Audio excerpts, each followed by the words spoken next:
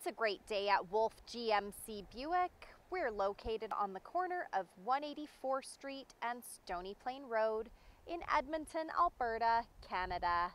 Today we're looking at the 2016 Ram 3500 Laramie. We're going to start by taking a look inside the front of the Laramie. Driver's door has power door locks, power windows, power folding side mirrors, the child lock buttons, door storage with a cup holder and a door speaker. To the left of the steering wheel is the power adjustable foot pedal button. To the left, we also have some lighting controls, including automatic headlamps, park brake down below, carpeted floor mats on the floor, a power adjustable driver's seat with lumbar support, along with a programmable memory seat for up to two drivers, black leather interior with Laramie badging and a power sunroof overhead.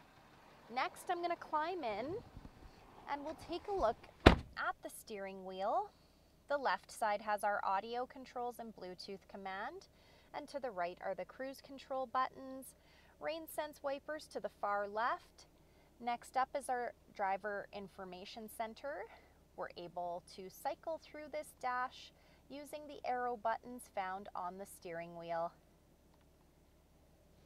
Overhead are some interior light buttons, the rear window slider button, power sunroof buttons, and the programmable garage door opener.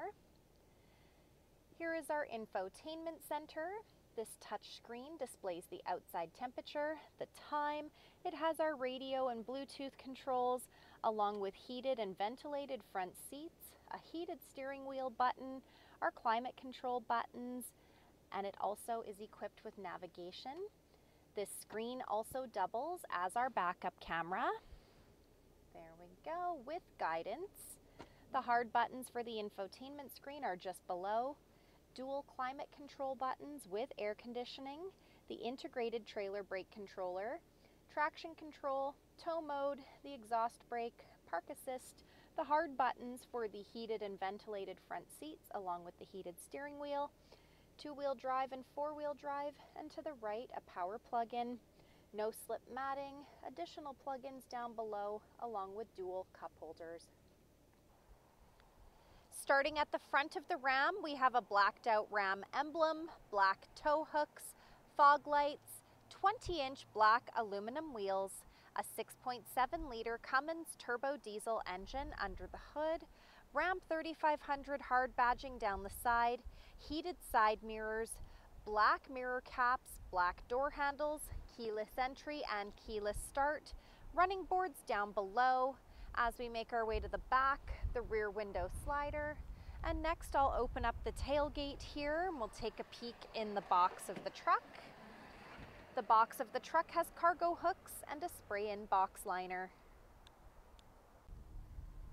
Next, we'll be taking a look inside the back of this five-passenger truck.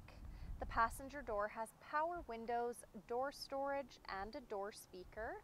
The backs of both front seats have got leather seat pockets, heated rear outboard seats, some power plug-ins, carpeted floor mats on the floor, our middle seat folds down into dual cup holders and we're able to raise these rear seats up for some additional storage space.